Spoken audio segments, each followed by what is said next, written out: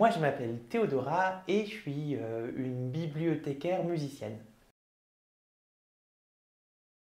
Dans une salle qui s'appelle le Music Lab. C'est tout nouveau, ça fait partie des travaux de rénovation euh, qui ont été faits ces dernières années avec de nouveaux services qui vont, euh, qui vont ouvrir. Donc le Music Lab fait partie.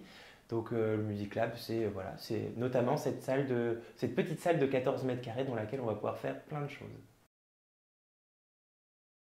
Non, mais en tout cas, tous les bibliothécaires une grande partie des bibliothécaires de la manufacture ont pu jouer sur les instruments, les découvrir ensemble, faire des petits ateliers, etc.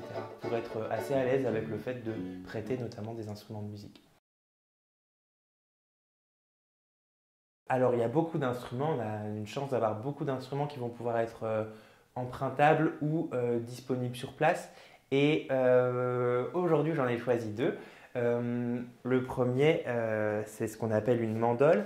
Euh, c'est un instrument que j'aime beaucoup pour ses résonances et notamment ce modèle-là qui est vraiment avec, avec un, manche, avec une belle tenue, etc.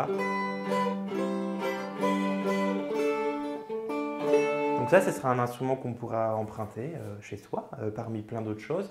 et le deuxième instrument, c'est quelque chose dont on jouera sur place. C'est donc un handpan. Euh, qui est un instrument qui se joue, euh, qui est un instrument d'invention suisse et qui se joue euh, principalement avec les doigts, avec les pouces.